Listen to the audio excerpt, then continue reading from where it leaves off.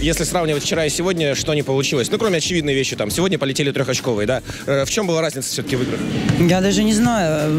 Больше было общего, скажем так. Все игры были тяжелые, все игры были непредсказуемые.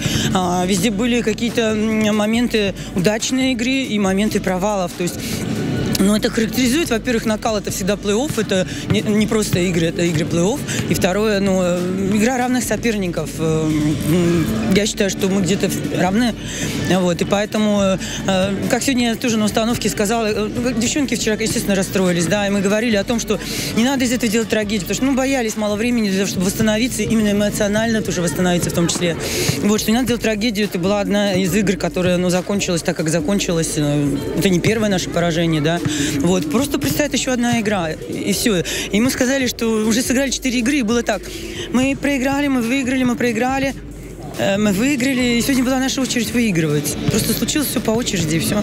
Вот, по поводу ОГМК.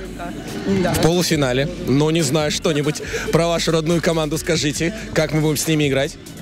А, а если вы не в курсе, то совсем недавно был матч очень такой, который все ждали, и я смотрела этот матч у ГМК Курская Динамо. Вот все ждали какой-то интриг, какой-то игры, но у ГМК там более 40 очков выиграла. Вот, поэтому как мы будем играть? Я не могу ответить пока на этот вопрос. Давайте мы начнем играть, и там будет видно.